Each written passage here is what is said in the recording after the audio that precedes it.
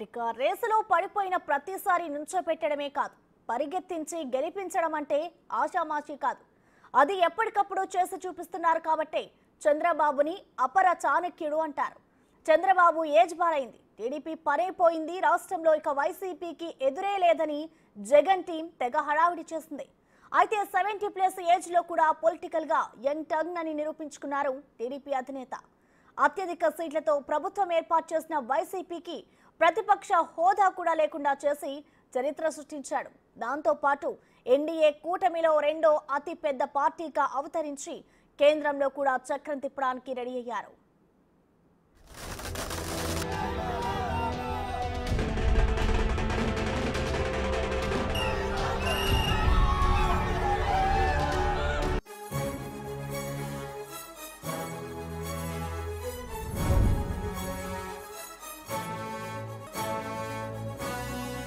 ఏపీలో ఎన్డీఏ కూటమి ప్రభంజనం సృష్టించింది. ఇక్కడ ఎన్డీఏ కూటమి అనడం కంటే తెలుగుదేశం జనసేనల బలమే వైసీపీని మట్టి కరిపించిందనడం కరెక్ట్. ఎందుకంటే ఆ పార్టీల అండ లేకుంటే బీజేపీకి ఏపీలో డిపాజిట్లు కూడా దక్కవు అనడంలో సందేహం లేదు. ఈసారి ముందు నుంచి ఎన్నికలు ఏకపక్షమే అన్న ధీమాతో కనిపిస్తున్నారు టీడీపీ అధినేత చంద్రబాబు నాయుడు. విజనరీ లీడర్ అపర చాణక్యుడిగా బ్రాండ్ ఇమేజ్ సొంతం చేసుకున్న సిబిఎన్ మండు టెండల్లో ప్రచారం చేసిన తీరు అందరినీ ఆశ్చర్యపరిచింది. స్వర్ణాంధ్ర సాకారం గౌరవం కోసం.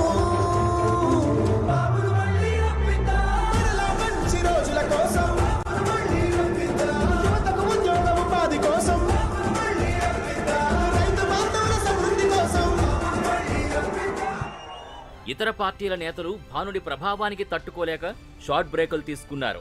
కానీ ఆ సూర్యుడు ఈ చంద్రుడి స్పీడ్కి బ్రేకులు కాదు కదా కనీస స్పీడ్ బ్రేకర్లు కూడా వేయలేకపోయాడు. సెవెంటీ ఫోర్ ఇయర్స్ ఏజ్లో తొంభై సెగ్మెంట్లలో సిబిఎన్ ప్రచారం చేశారంటేనే ఆయన స్టామినా ఏంటో అర్థమవుతుంది. IT Indian of the millennium business person of the year South Asian of the year world economics forum dream cabinet member. ఇది విజనరీ లీడర్ చంద్రబాబుకి అంతర్జాతీయ స్థాయిలో వచ్చిన గుర్తింపు.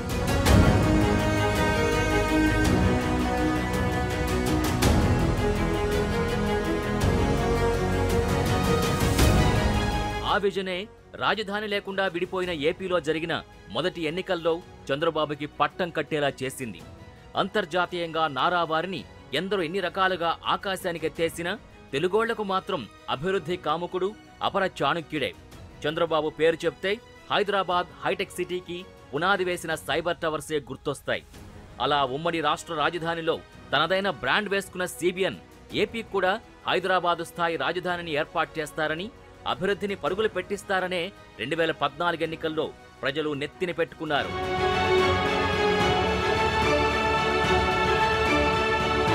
అమరావతి రాజధానికి అంకురార్పణ చేసి రాజధాని నిర్మాణాన్ని వేగవంతం చేస్తున్న టైంలో చంద్రబాబు స్పీడ్కి బ్రేకులు పడ్డాయి. ఒక్క ఛాన్స్ అంటూ వైసీపీ అధ్యక్షుడు చేసుకున్న అభ్యర్థన రాష్ట్ర స్థితిగతుల్ని మార్చేసింది.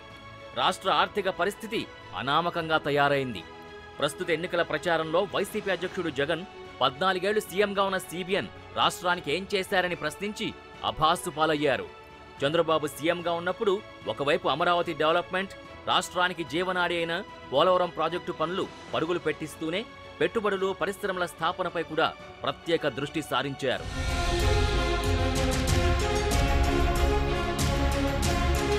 ఇప్పుడు ఏపీ తెలంగాణ రోడ్లపై పరుగులు పెడుతున్న కియా కార్లను చూస్తే తెలుగోళ్ళకి చంద్రబాబు నాయుడే కనిపిస్తారు. ఉమ్మడి రాష్ట్రంలో తొమ్మిదేళ్ళు ముఖ్యమంత్రిగా కొనసాగిన సిబిఎన్ని రాష్ట్ర విభజన తర్వాత మరోసారి సీఎంని చేసింది ఆ హైటెక్ విజనే. ఆయన అమరావతి రాజధాని అనగానే జగన్ సహా అందరూ ఆమోదించారు. అయితే రెండు వేల పంతొమ్మిది ఎన్నికల తర్వాత ఈక్వేషన్లు మారిపోయాయి. రాజధాని ఏదో చెప్పుకోలేని స్థితిలో ఏపీ ప్రజలు మిగిలారు.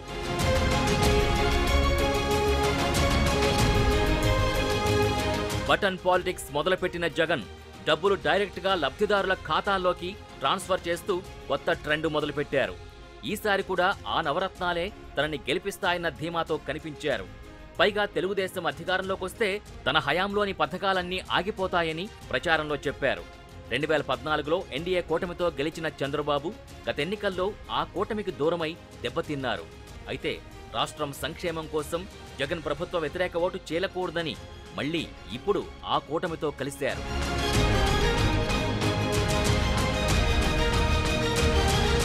పేరుకి ఏపీలో ఎన్డీఏ కూటమి అయినా దానికి పెద్ద దిక్కు చంద్రబాబే అయ్యారు. ప్రచారంలో బాధ్యతను కూడా భుజస్కంధాలపై వేసుకుని ముందుకు సాగారు. ఓవైపు ప్రభుత్వంలోని వైఫల్యాల్ని ఎండగడుతూనే తాము అధికారంలోకి వస్తే చేసే పనులు ప్రజలకు వివరించారు చంద్రబాబు. ఎండల్ని సైతం లెక్క చేయకుండా ప్రచారం నిర్వహించారు. నవరత్నాలని వైసీపీ అంటే సూపర్ సిక్స్ భవిష్యత్తుకు గ్యారంటీ హామీలతో దూసుకుపోయారు. జగన్ సర్కార్ మద్యం పాలసీ ఇసుక దందాలు వైసీపీ నేతల అరాచకాలపై ఫైర్ అవుతూ ఎన్నికల ప్రచారంలో క్లైమాక్స్ పంచులు విసిరారు టీడీపీ అధినేత. నవరత్నాల పేరుతో జగన్ ప్రజలకు చాక్లెట్లిచ్చి నెక్లెస్లు తీసుకుంటున్నారంటూ ప్రజల్ని ఆలోచింపజేశారు. ఒకప్పుడు ఒక అతను మనం వినేవాళ్ళం చాక్లెట్ ఇచ్చి నెక్లెస్ కొట్టేశాడంట. అలాంటి రకం ఇతను మీకు ఇచ్చింది చాక్లెట్. మీరు ఆ చాక్లెట్ చూస్తారే పాపం ఎంత మంచోడు అని ఉబ్బిబ్బి అయిపోతే టకామని నెక్లెస్ కొట్టి పారిపోయాడు అలాంటి వాడు ఈ జగన్మోహన్ రెడ్డి. ఒకే విషయం అడుగుతున్నాను. ఈ రోజు రాష్ట్రంలో ఎక్కడైనా చూడండి ఇతను ఒక అహంకారి. ఒక సైకో ప్రవృత్తి ఎప్పుడు నేను చూడలేదు ఇలాంటి వ్యక్తిని. దుర్మార్గమైన వ్యక్తి. ఏదో నన్ను అరెస్ట్ చేశారని చెప్పలేదు. మీ విశాఖపట్నంలో మీరు చూశారు. శుక్రవారం సాయంత్రం అయితే ప్రొక్లైన్ వస్తుంది. దేనికి వస్తుంది ప్రొక్లైన్ అంటే ఎవరైనా అతన్ని ఎదిరిస్తే శుక్- శనివారం ఆదివారం కోర్టు ఉండదు కాబట్టి అక్కడి నుంచి ప్రాపర్టీస్ అన్ని కూలదోయించని శుక్రవారం సాయంత్రం పంపించే పరిస్థితికి వచ్చారు. జగన్ హయాంలో రాష్ట్రంలో శాంతి భద్రతలు ప్రమాదకర స్థితికి చేరాయి అనడానికి ఎంపీ రఘురామకృష్ణంరాజు ఉదంతమే నిదర్శనమని మండిపడ్డారు. ఎంపీగా రఘురామరాజుని తన నియోజకవర్గంలో తిరగనీయకుండా చేసిన సైకో జగన్ని తరిమి కొట్టాలని ప్రజలకు పిలుపునిచ్చారు. అరాచక ప్రభుత్వానికి అంతం పలకాలంటే ఎండకు భయపడి ఎవరూ ఇంట్లో కూర్చోకూడదని ఓటర్లు ఇంట్లో ఉంటే వైసీపీ గొడ్డలి మీ ఇంటికొస్తుందని హెచ్చరించారు. పవన్ పోరాటం వలనే కూటమి ఏర్పడిందని పవన్ రియల్ లైఫ్లో కూడా హీరోనే అని ప్రశంసిస్తూ అన్ని వర్గాల్ని ఆకట్టుకున్నారు. Power star Pawan Kalyan. విశాఖపట్నంలో ఆయన తిరగనీయకుండా చేస్తే నేరుగా అక్కడి నుంచి బయట పంపిస్తే మొట్టమొదటిసారిగా నేనే వెళ్ళి హోటల్లో నోవోటల్ తె- విజయవాడలో ఉంటే సంఘీభావాన్ని తెలియజేశాను. నేను జైల్లో ఉంటే నేరుగా వచ్చి పవర్ స్టార్ పవన్ కళ్యాణ్ ఒకే మాట చెప్పాడు. ఓట్లు చేరడానికి వీలు లేదు. కూటమి ఏర్పాటు చేయాలని చెప్పి ఆచరించిన వ్యక్తి పవర్ స్టార్ పవన్ కళ్యాణ్ గారు. రాజకీయాల్లోనే కాదు. నిజ జీవితంలో కూడా ఒక hero power star Pawan Kalyan. తిరిగి బీజేపీతో చెలిమి కట్టిన చంద్రబాబు ఎన్నికల ప్రచారంలో అన్ని తానే నడిపించారు. పని రాక్షసుడిగా ట్యాగ్ లైన్ తగిలించుకున్న హైటెక్ లీడర్ బర్త్ డేట్ పంతొమ్మిది వందల యాభై ఏప్రిల్ ఇరవై. పద్నాలుగేళ్ళు సీఎంగా పనిచేసిన ఆయన వయసు ప్రస్తుతం డెబ్బై నాలుగేళ్ళు. మండు టెండల్లో జరిగిన ఈ ఎన్నికల్లో ఆయన తొంభై సెగ్మెంట్లలో ఎన్నికల ప్రచారం పూర్తి చేశారంటే మామూలు విషయం కాదని రాజకీయ నిపుణులు కూడా ఆశ్చర్యం వ్యక్తం చేశారు. దట్ ఈజ్ చంద్రబాబు అంటూ కితాబిస్తున్నారు.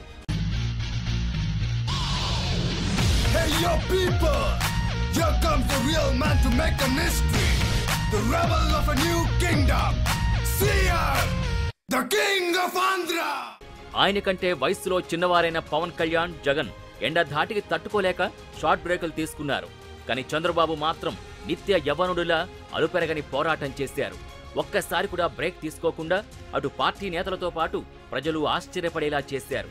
అంతేకాదు రోజుకు మూడు నుంచి ఐదు సభల్లో పాల్గొంటూ జనాలతో మమేకమయ్యారు. ప్రతి అంశాన్ని జనాలకు చెప్పడంలో చంద్రబాబు సక్సెస్ అయ్యారు. మేనిఫెస్టోలో అంశాలతో పాటు ప్రభుత్వ పనితీరుపై తనదైన శైలిలో కౌంటర్లు ఇచ్చుకుంటూ వచ్చారు.